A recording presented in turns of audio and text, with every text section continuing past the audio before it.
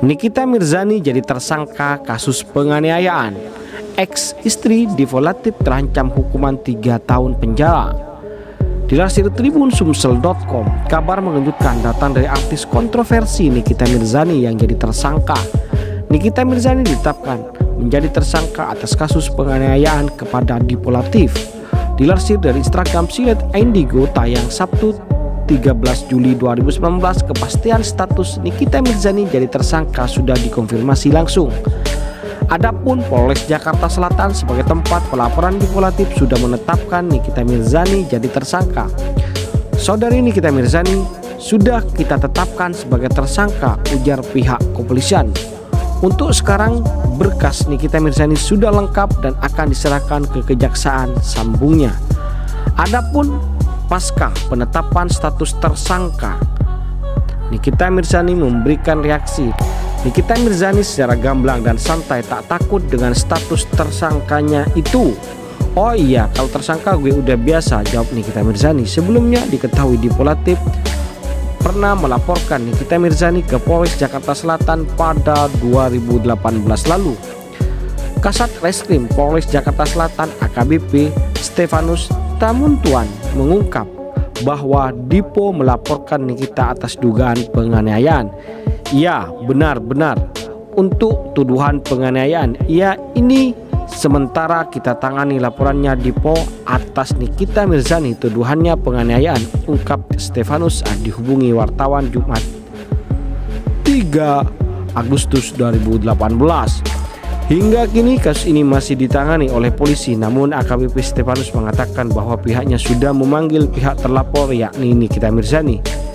Sedangkan dalam proses penyidikan sudah kita panggil, sudah lama, kata Stefanus.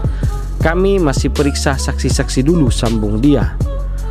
Sebelumnya artis peran dan presenter Nikita Mirzani 32 tahun mengaku bahwa ia merasa kekerasan verbal dari suaminya Ahmad Dipolatif 45 tahun atau dipolatif. Hal itu ia ungkapkan setelah menghadiri sidang pertama perceraiannya dari dipolatif di Pengadilan Agama Jakarta Selatan Rabu 1 Agustus 2018. Kekerasan verbal, kekerasan fisik enggak pernah kata pemain film Warkop DKI Rebon ini. Belum lama ini Nikita Mirzani mengatakan bahwa Ahmad Dipo di Tiro Latif pernah menghujaninya dengan cacian ketika ia mencoba memastikan dugaan perselingkuhan suami sirinya itu. Yang bersangkutan juga udah diberitahu, bukannya minta maaf malah ngata-ngatain bego, goblok segala macam. Pokoknya gitu-gitulah ujar Nikita ketika dijumpai sehabis ambil bagian dalam sebuah acara di kawasan Mampang, Jakarta Selatan ketika itu. Nikita menambahkan bahwa caci maki tidak dialamatkan kepada siapa saja tetapi juga ke beberapa kerabat lain Nikita Ya ke gue langsung ke kakak ke tante gue. Nggak tau lah alasannya. Tanyain aja dia. Tongkrongin tuh di pusat pembelanjaan pasarnya. Tiap hari di situ ujarnya. Selain mendapatkan kekerasan verbal. Ibu dua anak ini juga mengaku akhir-akhir ini ia dan keluarganya sering menjadi sasaran teror yang diduga datang dari pihak suaminya tersebut. Meneror mengancam. Jadi ngancamnya tuh bukan ngancam gue secara langsung tapi orang-orang di sekeliling gue gitu. Via telepon pinter juga dia telepon biar nggak ada bukti cerita nih kita.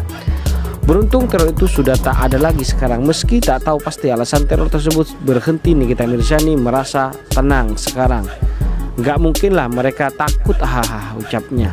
Sementara itu dilansir dari hukumonline.com kasus penganiayaan itu bisa kena pasal 351 Kitab Undang-Undang Hukum Pidana Hukuman paling ringan untuk kasus penganiayaan adalah 2 tahun 8 bulan atau pidana denda paling banyak Rp4.500 dan hukuman paling lama adalah penjara paling lama 5 tahun jika mengakibatkan kematian.